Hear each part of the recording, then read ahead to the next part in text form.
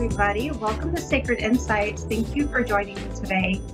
So, today is the 1010 portal, and we are well into the month of October. So, this is spooky season for me.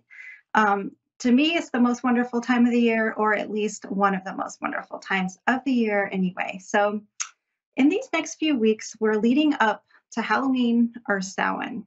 Now, Samhain is looks like it would be is spelled Samhain, like S A M H A I N, but it is pronounced Samhain, like S O W E N.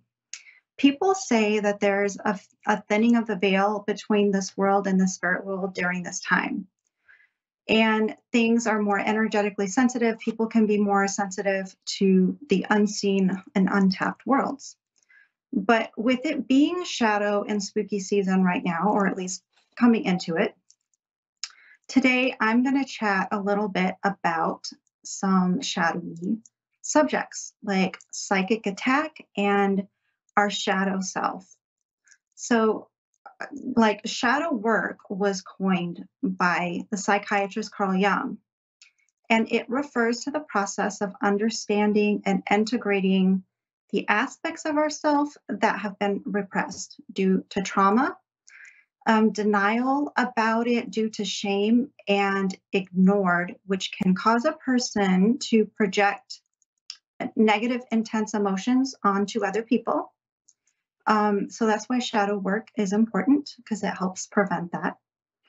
So, you know, especially when a person is triggering them, it's easier to be triggered when we have not kind of sat with our shadow side because everybody has that. So usually that is due to no fault of the other person normally.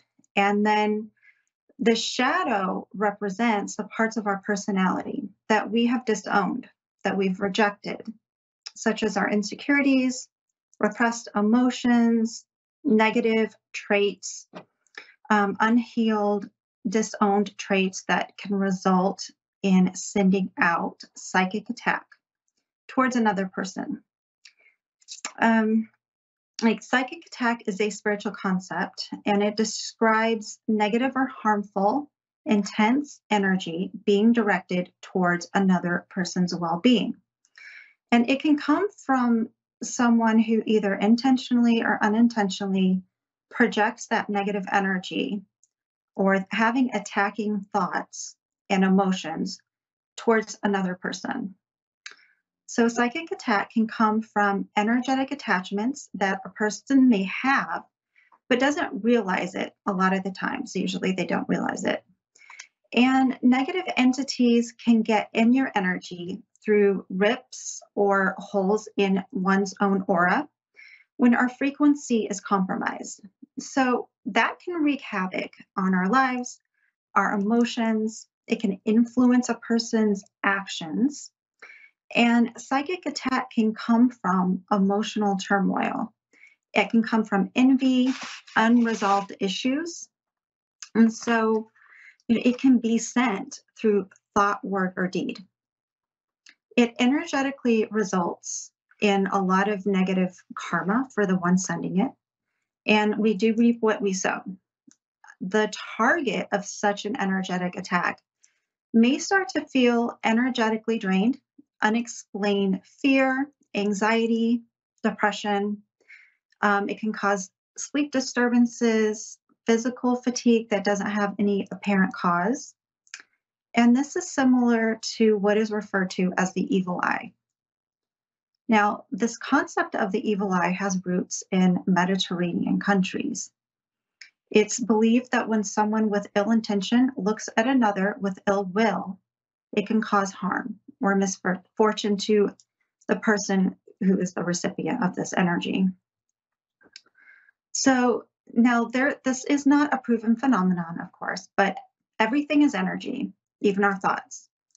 And when we think negatively of another person, speaking with negativity towards like gossip, especially with coupled with emotion, um, we are sending out energy to them. We're sending it out to the universe as well. Now, it does come back like a boomerang, but we don't always know that that's what's happening because it doesn't look like necessarily say the same thing that we sent out.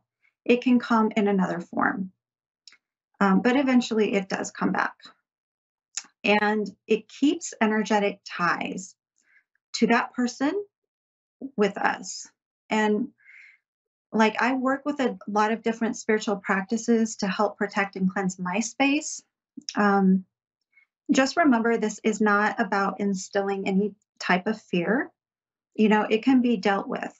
So please don't fall victim, especially to anybody trying to scam you or telling you that you're cursed or need to pay like a bunch of money for them to remove it. That is not at all what this is about. It's just a matter of understanding and protecting your energy on a daily basis, um, having that energetic hygiene, which is important to have that practice. Um, so if you feel like something has been sent to you, or if you pick something up, you can release it, you can cleanse it. And, you know, intention is important. So there's things like prayer, or cleansing meditations, and like protection mantras. They are great, and you can get them on YouTube. Um, also, of course, we say this all the time, but visualizing yourself in a bubble of golden white light and intending that no negative energy can get in and that um, you know you're sealed off from negativity but it does allow in love so it's not like you're blocking out the good too okay um, salt baths are good, and, but crystals are really, really important. Um, and helping protecting your energy. I wear them as jewelry. Um, if you haven't already noticed, I usually have a lot of it on pretty much every day.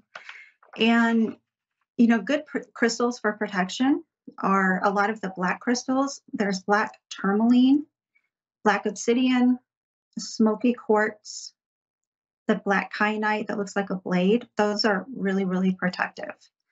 Um, I love bringing in like the high vibrational crystals to like raise our frequency. Um, selenite is one of my favorites, and it, as is uh, clear quartz. Citrine is also really good for raising your vibration too. Um, but you know, you can use other tools like meditation of the violet flame to burn away any lower energy. That's what it's for, and it does work really well. I've used all of these, they do work really well. So I um, just a quick note, working with the angels is important to, and it can help you with your energy, can help for protection, especially Archangel Michael for, you know, clearing my space. I do that every day.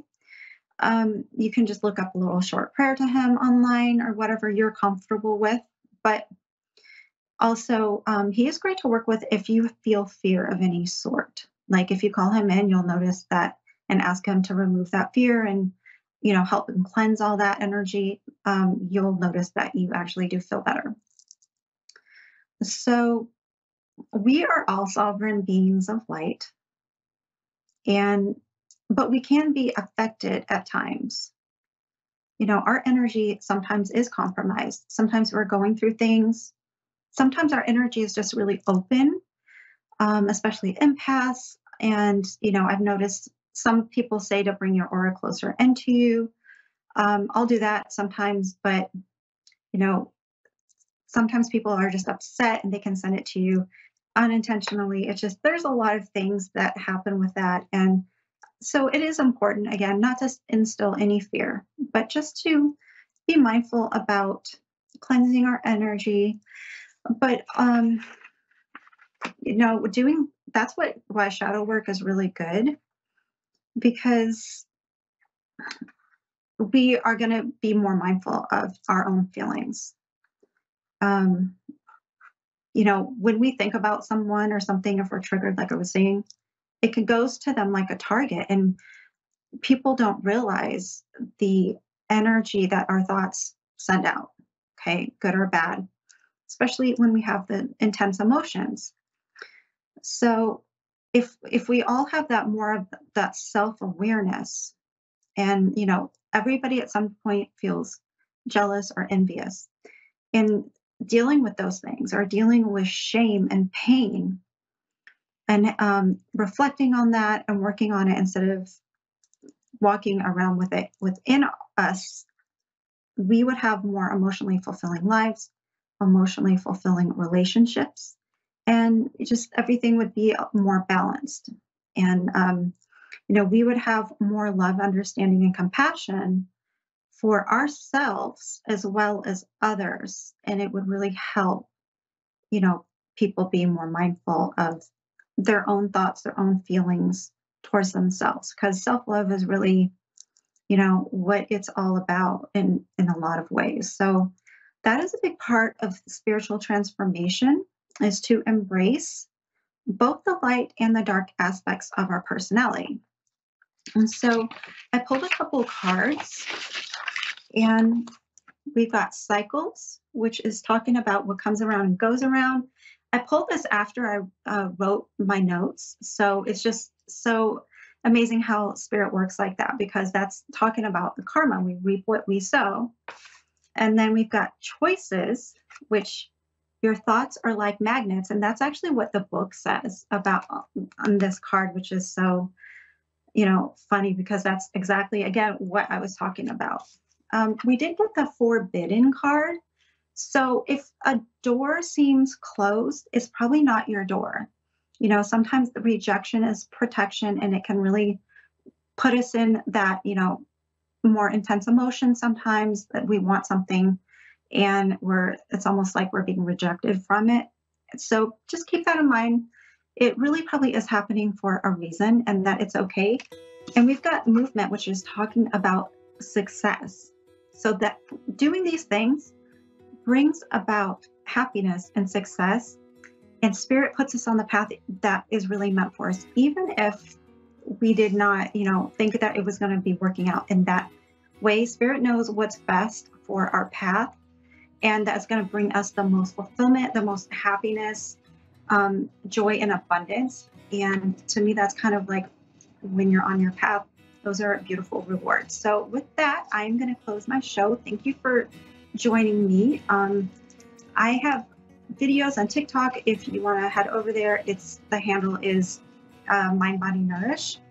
And you know, I have um, my readings on Stan Store, which is stan.store slash medium Andrea. And then on Facebook and Instagram is medium Andrea Bacon. And I post collective readings on there um, several times a week.